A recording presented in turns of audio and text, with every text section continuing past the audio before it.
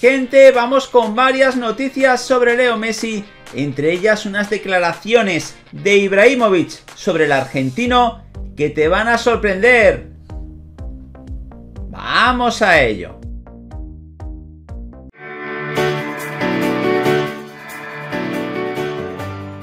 Hola de nuevo gente, ¿cómo estáis? Bienvenidos a otro nuevo vídeo de Objetivo Gol Vamos a analizar la última hora de Leo Messi y lo vamos a hacer con varias noticias, por tanto te animamos a que te quedes hasta el final del vídeo y a que nos dejes un buen like. Vamos sin más dilación a empezar con la primera noticia y vamos a hablar de las palabras de Zlatan Ibrahimovic sobre Messi y Cristiano. No hay nada como quererse a uno mismo. Eso debe pensar Zlatan Ibrahimovic, muy dado a dejar perlas a lo largo de su carrera. La última, ponerse a la altura de Leo Messi y Cristiano Ronaldo, dos de los mejores jugadores de la historia. Lo dijo así, si estás hablando de cualidades intrínsecas, no tengo nada menos que ellos. Si miras los trofeos, sí, no gané la Champions, dijo el sueco que dudó en cómo se calcula el tema de ser el mejor, pero tampoco dice estoy obsesionado con eso porque cuando haces cosas buenas colectivamente, el individuo te sigue. No puede ser bueno si el colectivo no es bueno. Dicho esto, ya no es solo un tema de Champions League, donde Cristiano con 5 y Leo Messi con 4 han ganado muchas más que él, sino incluso de la pelea por el balón de oro, que han tenido siempre ambos y donde nunca ha llegado a estar Ibrahimovic. Si extraño el balón de oro, no, es el balón de oro el que me extraña. En el fondo, creo que soy el mejor jugador del mundo. No creo que sea relevante comparar jugadores entre sí. Todos han jugado en su generación, con diferentes compañeros. Es difícil comparar. Creo que todo el mundo tiene su historia y debe afrontarla, dijo el delantero del Milán de 39 años. Por tanto, Ibrahimovic echándose flores y poniéndose a la altura de Messi y Cristiano. Vamos a seguir hablando del argentino y es que sorprendió a todos mostrando esto en redes sociales. Después de brillar y de qué manera con Argentina, Leo Messi regresó a París para volver a vestirse de corto con el Paris Saint Germain. No obstante, su entrenador, Mauricio Pochettino, aseguró en sala de prensa que el argentino no jugará este sábado, al igual que Neymar. El jet lag tuvo que jugarle una mala pasada al 10, desvelado en la madrugada del viernes al sábado, al menos por lo que quiso enseñar en sus redes sociales subió una story en Instagram en la que apareció su equipo personal para prepararse el característico mate argentino. La anécdota estuvo en el termo, internet no tardó en aumentar la foto para fijarse que en dicho recipiente había cuatro símbolos grabados cuatro escudos que representan en su mayoría el trayecto deportivo de la pulga, una carrera difícil de igualar para cualquier futbolista que pise la tierra. De arriba abajo, los cuatro emblemas eran los de la AFA, por su recorrido en la selección argentina, el de Newells, equipo de su infancia y de su ciudad natal Rosario, el del Barcelona, en el que se erigió en uno de los mejores jugadores de la historia, y el del Paris Saint Germain, su actual club, un detalle del delantero que no pasó desapercibido para sus seguidores y que resalta la importancia que le da Leo a su pasado balompédico, una historia imborrable a la que le quedan sus últimos coletazos. Y es que aquí podéis ver el termo de Leo con los escudos de la AFA, de Newells, del Barça y del Paris Saint Germain. Vamos ahora chicos a ver qué es lo que ha dicho su actual seleccionador sobre el argentino. Scaloni se manifestó muy feliz tras el triunfo ante Bolivia por 3 a 0 por eliminatorias sudamericanas y expresó estar orgulloso de poder tener a Lionel Messi como jugador. Dijo así, Messi le está dejando un legado a todos los futbolistas de la selección.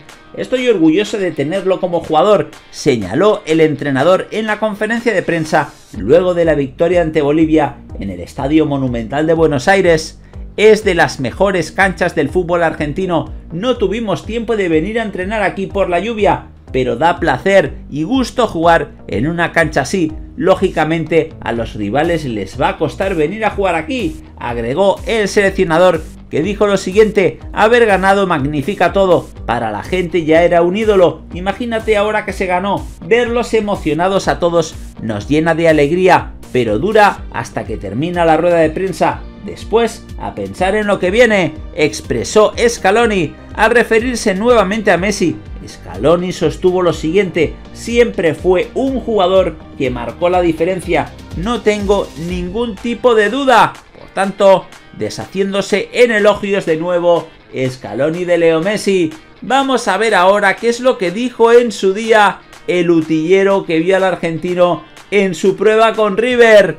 Todo aquel que ha tenido la suerte de ver a Messi durante sus inicios afirma que apuntó maneras desde muy joven. Más allá del consabido problema de la altura, la magia y el talento han ido siempre adheridos al astro argentino.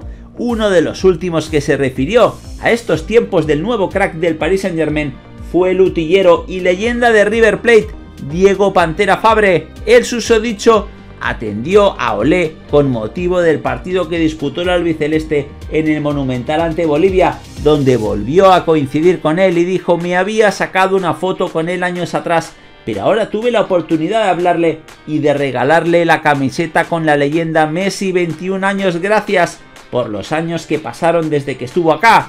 La rompió cuando estuvo aquí. Primero estuvo en la categoría 86 una más grande y dirigida por mi amigo y compañero de trabajo Eduardo Abramián. Después pasó a los 87, donde estaba Gonzalo Higuaín, y en esa semana deslumbró con su talento. No me voy a olvidar nunca lo que jugaban esos dos rosarinos, sobre todo el más pequeño que era Messi. Pude observar a ese pibe que hizo 14 de los 21 goles que convirtió a su equipo. Todavía recuerdo que el director técnico decía, a ese pibe hay que ficharlo ya, es un fenómeno. Vamos a hablar ahora chicos de la salida de Leo Messi y es que sigue coleando aquel episodio y es que ha salido a la luz que Messi pidió una salida digna. Se habló muchísimo la noche anterior a la rueda de prensa de Messi del tono que el 10 elegiría para despedirse del Camp Nou. El periodismo en ocasiones quiere avanzarse tanto a los acontecimientos que acaba perdiendo de vista que nada es noticia hasta que no ha sucedido.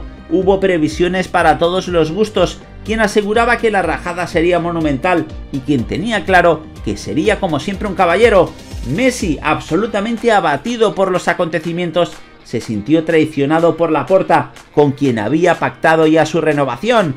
Y todo estaba pendiente de la firma. El argentino se sintió engañado porque estaba convencido de que todo estaba ya hecho y sin embargo fue pese a que no solo la decepción, sino también el cabreo era monumental en casa de los Messi, quien tuvo clarísimo que la única forma posible de decir adiós a toda una vida vistiendo la camiseta del Barça era con buenas palabras, sin un solo reproche, sin nada que pudiera generar polémica. Leo Messi apareció desnudo emocionalmente ante la prensa para con la misma elegancia que emana su fútbol no pasar ni una sola factura a nadie, fue su decisión. Y es que no cabe duda que hay bastante misterio, aún en bastantes aspectos, de la salida del argentino del Fútbol Club Barcelona. Con el pasar de las semanas, el rompecabezas en el que se convirtió el divorcio entre Messi y Barça ha sumado más piezas, pero sigue sin estar completo.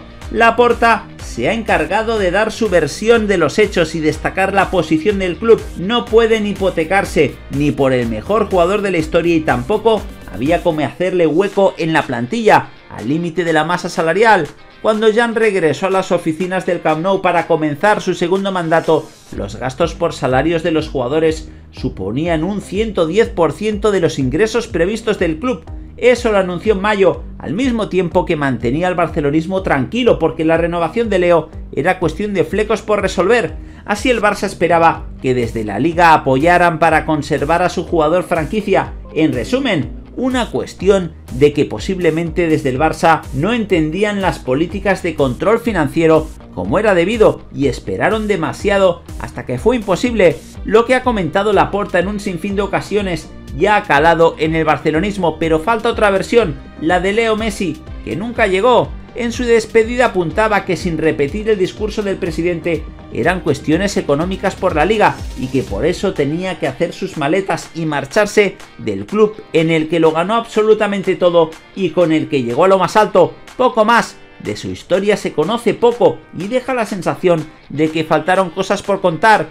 No era un secreto que había buen feeling entre Messi, Laporta y todo el entorno del futbolista desde siempre hasta el 5 de agosto en el que todas las relaciones se rompieron por completo de manera precipitada, aparentemente sin reparo. La pulga evitó hacer comentarios y Jan solo le ha agradecido por todo lo que hizo, pero hasta él mismo confesó que la relación se enfrió. Al mismo tiempo, han surgido rumores de que Jorge Messi tenía todo planeado que el contrato con el PSG estaba listo, y es que por tanto da la sensación de que Leo Messi, que se despidió como todo un caballero, se guardó cosas para él. Nos gustaría saber vuestra opinión al respecto de cualquiera de estas noticias y que por favor nos la dejéis en los comentarios justo debajo de este vídeo. Nada más por el momento, como siempre animaros a que os suscribáis al canal para seguir viendo todos nuestros vídeos.